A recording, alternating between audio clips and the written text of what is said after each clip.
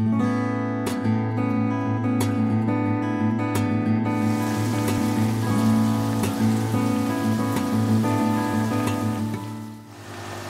have a look at the growth here. This is week four, four weeks, and uh, you know you can see for yourself these systems work uh, like nothing else.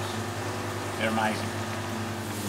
Okay, I spoke in one of my previous videos about the system going particularly well, but it was missing a filter. And we need a filter in here because the floating raft systems need really clean water. The, the roots of the plants will get clogged up otherwise and they just won't absorb the nutrients and it needs to have really, really clear water. So there's lots of good ones out there. I've searched the internet and I nearly purchased a couple. And I decided to, uh, to make my own and here it is. Simply a plastic box I found in the garage and I've plumbed it in. This is coming directly from the sump. It's coming in here, going through my filter material which I'll show you in a moment and coming back out here to the floating raft system. So the floating raft uh, systems don't get any water that hasn't been filtered.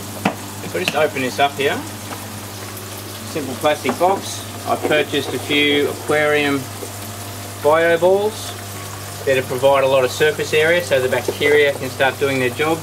And in this particular case, I'm wanting it to do some mechanical filtration as well.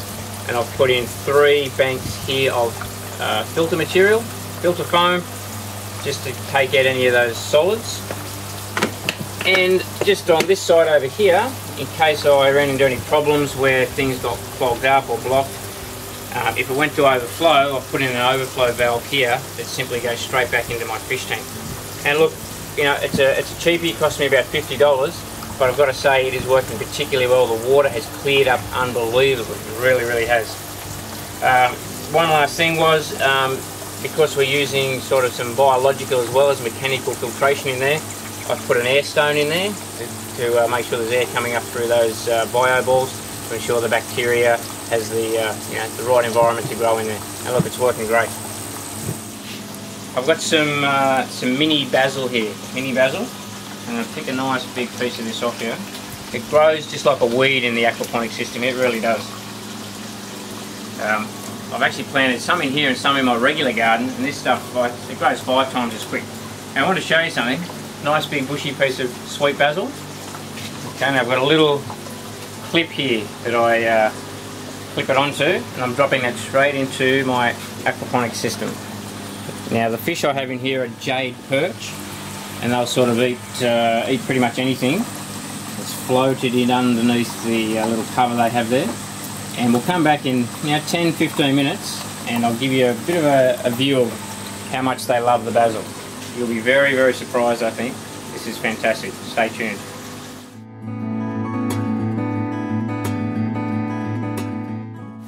and uh, have a look at this. Fish out the basil, and it's almost like a pack of piranhas. You wouldn't want to fall in there, but they love this, and I've got plenty of it. So I just think it's a great thing for the fish and the whole system in general. Okay, I, uh, started a couple of chilies off in the floating raft system, and uh, it's been three weeks now, and they've come up to this height. And I don't really want to leave them in the floating raft. I want to free up the space for some other things. Plus the chilies, you know, they, they develop a lot slower and grow a lot bigger. So I'm going to put him in the, uh, the grow bed here. It's as simple as this. It's a little bit crowded here, but this uh, basil won't be staying because I'm feeding it to the fish.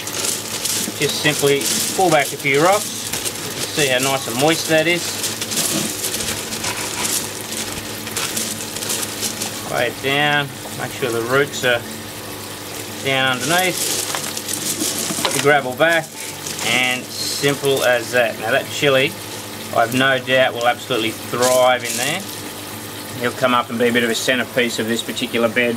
And yes, it's close to the tomato, yes, it's close to the basil, but that's what you can do in uh, aquaponics. You can grow things a lot closer than normal, and I'll, i think that'll be great. Well, this one will be a bit different if it works. I've found what I think, 99% sure it's a pawpaw growing between the crack of uh, two bricks out the front and uh, it's obviously a bit sad, it's been broken off, but I'm going to put in the aquaponic system, see if that can revitalise it. That'll be interesting.